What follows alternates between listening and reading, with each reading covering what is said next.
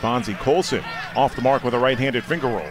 Alkins pushes it to the left corner. Beachem 4-3 line drive sinks it. VJ Beachem with four points. Gates with the board. Bulls in transition. Sampson.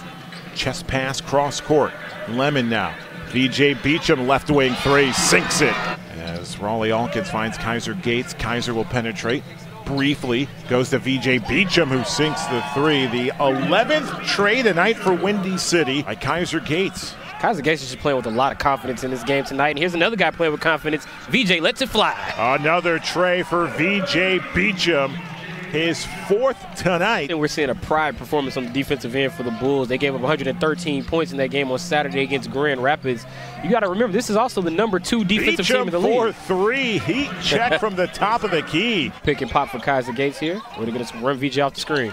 VJ, the hot hand in the paint. Why not? VJ Beachem with a finish off the left window.